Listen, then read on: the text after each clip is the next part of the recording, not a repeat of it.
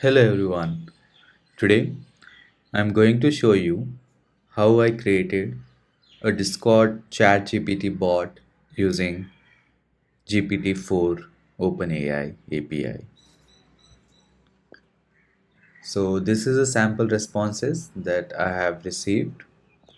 So to get started, the first and foremost thing is to register an application in Discord developer if you do not see this application developer portal, then what you can do, you can go to user settings, then go to advanced, then enable the developer mode. Once you enable the developer mode, you will have access to all the features where you can develop applications. So I'm going to create a new application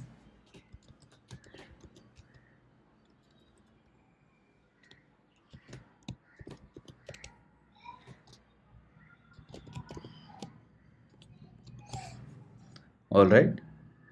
And then create. Uh, let me just give a better name so that I have uh, good spaces in between. Next step what we are going to do click on OAuth click on URL generator click on bot. Since this is a bot application then you're going to select the bot. And when you go down that generates an URL copy that URL and then open it in a new tab. Once you do that it will ask you where you want to add this bot. Basically in what server you want to add this bot to. So I'm going to select my server JDBots and then authorize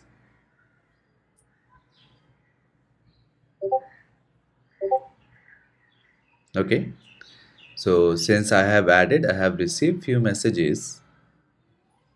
Basically a notification that uh, a user has been added. Glad you are here JDBots chat GPT okay. So this is my bot now added to my discord server. Alright. The next step. We need to generate the token discord token in order to communicate. So I'm going to go to the bot section in the developer website. I'm going to reset the token then copy it. Make sure this token is kept secret and you do not expose it outside. Otherwise anybody can just use it to interact with your discord server. Okay? So I'll go to my Visual Studio Code where I have written uh, some amount of code. Alright? So I'm hard coding these two values. Essentially these two values should be coming from your environment variables or a configuration file so as of now I'm just hard coding them. Okay? So enter your discord token then enter your OpenAI key open API key.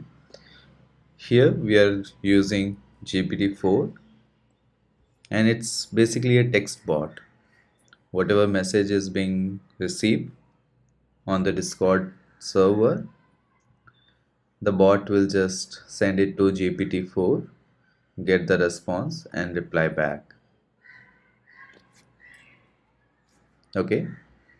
You can also turn this into GPT 3.5 turbo. That is also a possibility you can do.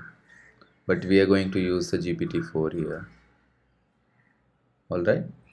So yeah let's start running this application.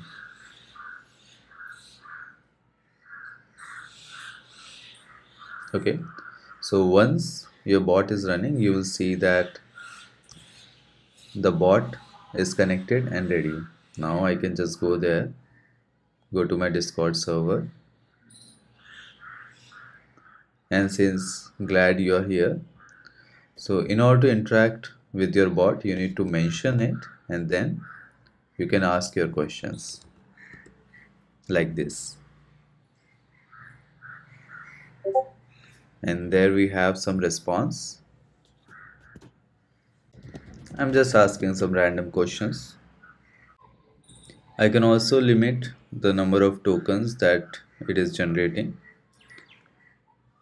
And sometimes if the response is really large it will take some time. So I'm an AI model. I'm not capable of providing exact specific time frames. Okay. Okay. Yeah that is all. Thanks everyone